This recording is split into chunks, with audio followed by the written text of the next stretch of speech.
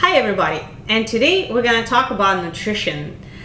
I say nutrition is 80% of your success if you wanna uh, lose weight or gain muscle mass or just get in, in shape.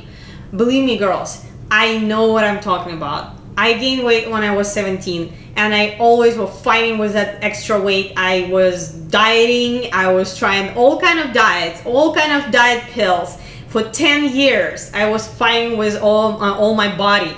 I wanted to be in shape. I wanted to uh, see my muscles. I didn't want to be just skinny. I just want to be strong and healthy and with muscles.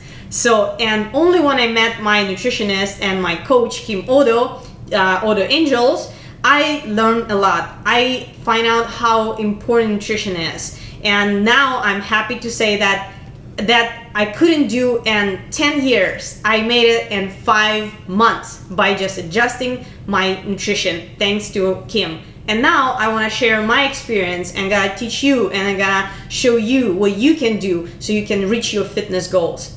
So first of all, don't diet. Don't starve yourself Maybe sounds crazy, but you have to eat to lose weight. I know it sounds crazy, and all my co-workers were laughing at me, saying like, I see you every time you chewing something. Every two and a half hours you eating something, and you saying you want to lose weight? Yes, and it happened. Mm, yeah, first months they were laughing at me. Second month they start asking me, "What? What are you eating?" Because they start seeing my results. They start seeing my body changing. So what was my secret? It's no secret. It's proper nutrition. It's balanced meals. Eat every two and a half, three hours, small portion. So uh, prepare your food, uh, food uh, ahead. So you're always ready to have your food. Never leave your house without your food.